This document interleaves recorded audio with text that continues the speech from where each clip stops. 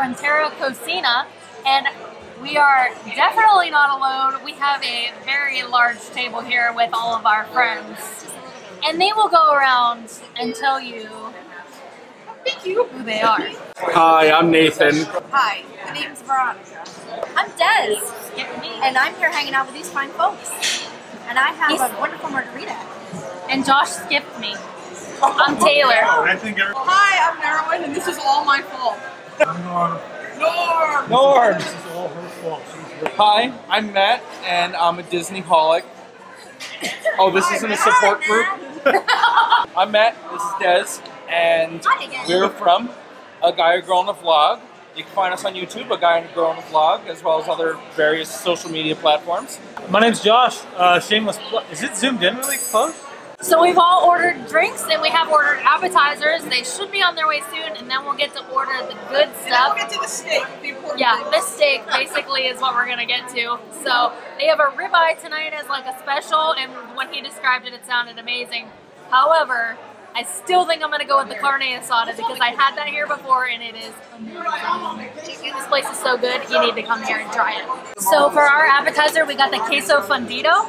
We got queso chihuahua. I think that's how you say it. I'm not really sure. It's melt, melted with roasted poblanos and caramelized onions, and then it comes with warm corn tortillas. Then they also give you red salsa and salsa verde.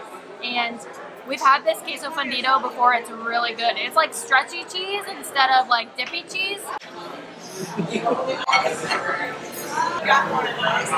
So this is a ton of cheese, but it is uh, it's really really good. It's a great mix of the uh, caramelized onions with the poblano peppers.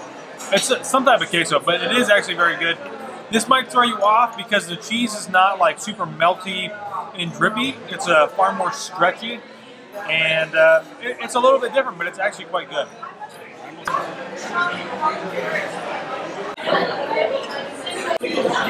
Cheese is really good.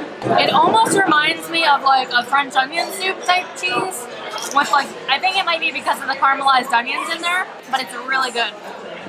In a tortilla, it would almost be like a cheese quesadilla. You just fold it in half or roll it up or whatever. Really good. I got the carnitas. Uh, so it comes with pork and beans and salsa verde. And I think this is what? Ribeye special, and it comes with mashed potatoes, plantains with creme fraiche, and crispy fried onions. And it also comes with the tortillas to make the toppings. That's a carne asada, which I think most of us did. I already tasted it, so I know it's really good. For my meal, I got the carne asada for making soft tacos. So it's a different version of the other carne asada that you can get.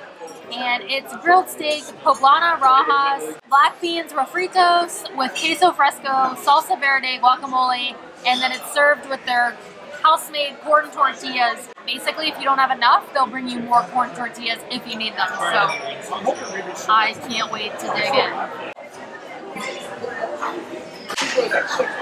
The seasoning on that steak, mm, delicious. I put a little bit of the black beans in there with the queso fresco and then some of the salsa verde. This is really good. And it's perfect with the corn tortilla. So I have got the carne asada. Has a red chili uh, marinade on it. Looks really great. The food smells amazing. This also comes with a side of refried beans, plantains, side of onion, a little bit of cheese, and then the uh, salsa verde salsa. Really good. I have not ever gotten this before here, so this is new for me. And as you guys know, I'll never get steak. So I've got my steak medium rare. It's cooked perfectly. Has a nice warm, tender inside, and then uh, it's seasoned perfectly. It's not super salty or over uh, like too much pepper has been added. The marinade's really great. Another thing that you might not know is that this actually is served with soft tortillas, and uh, so I'm going to dive into that. So it's great being able to make your own like little soft taco, but it's definitely not necessary by any means. The steak is great. The refried beans are great. Uh, I haven't tried the plantains yet, but I love getting plantains here. They're always really good. And this uh, salsa verde sauce. All right, so everybody around the table is pretty much full. So we're gonna do desserts. And we're gonna split them and try them out. I know that Tres Leches is very good.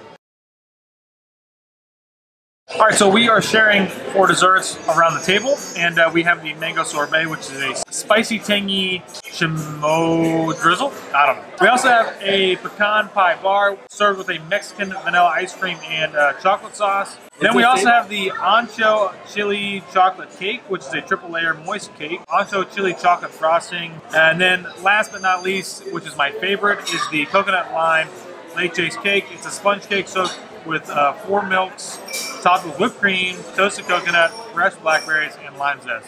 We're going in for the ancho chili chocolate cake. I like chocolate. Very good. Very rich. The cake is moist. Woo!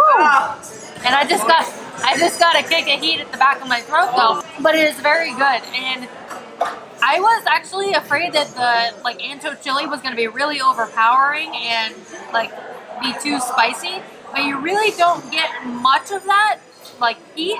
You can definitely taste that there's some chili in there once you really let all the flavors sink in and there was definitely some heat there once I started to swallow that cake. Alright. It's good though. Anise or the cinnamon coming through on that. It's like a cinnamon sugar. Right?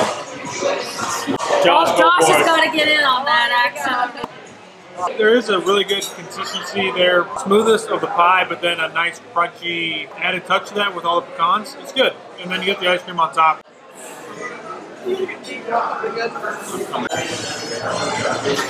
Hands down. I, I, I have to. You gotta I got to weigh in on that now. I don't know. He might be on the fence. Pecan bar, tres leche. All right, so the toasted coconut is a very prevalent flavor on there, as it should be because I mean this is coconut tres leches, which makes sense. It's not as sweet as some of the tres leches I've had before. Um, actually, not quite as creamy either. Between the two, because since we're, we're comparing now, I gotta go with the pecan. Ah, wow. pecan. Uh, But it's a close call. I'll say this. So, if you want something that's a little bit more rich, I feel like it's a lot heavier, is the pecan bar. But the tres leches is very light. I don't like whipped cream at all, but the whipped cream topping that they serve on top Yeah, of the pecan is rich. on top tres of the leche is light. That's it. sponge cake That's it right there. is is phenomenal, and uh, it's just it's it's very silky and smooth, nice. The coconut, toasted coconut on top adds another texture to the to the overall dish. I love it. Here we go. Yeah, it's definitely. It's got a little salty taste into it, but it goes with the flavors. It's sweet and salty. It's better than. Oh, I don't even It's get any spicy. sweetness. I get like a lot of salt and a little Yeah. bit of spice. that's the Tajín. It's definitely different. A nice little bit of salt on there, but it's good. Bye, everybody. Bye! Woo! All right, so we just finished eating at Frontera Cocina, which was great. We had a great time uh, hanging out with friends, eating with friends. I think we got some like really good different opinions, which was really Yeah, nice too. I We don't always too. get a lot of that, which I like to incorporate because I think it's important for you guys to have different opinions. Yeah, and I think a lot of us got the steak there, so I think overall, if you want the carne asada, we all agreed that that was amazing. Yeah. Yeah. And then we did try all the desserts. They were out of one of them, so we got all four. I think uh, overall consensus was that everything was good except that mango sorbet was a little weird, which I was afraid to try.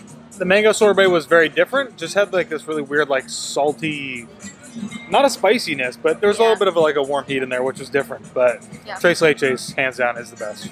It pairs really well with a cup of coffee. So Oh my gosh, you didn't get coffee. I didn't get coffee, but that's because if I got coffee, I wouldn't fall asleep later. So thank you to a guy, a girl, and a vlog, and Merwin and Dad uh, for hanging out with us and inviting us to come along. We had a great Yes. time. If you haven't already, go ahead and check them out. Uh, they do some Disney stuff, but then they do a lot of like Travel. travel and I think maybe a little bit of lifestyle stuff Yeah. around uh, back home. They're from New Jersey, so Have you ever dined here at Frontera Cocina at Disney Springs? Let us know.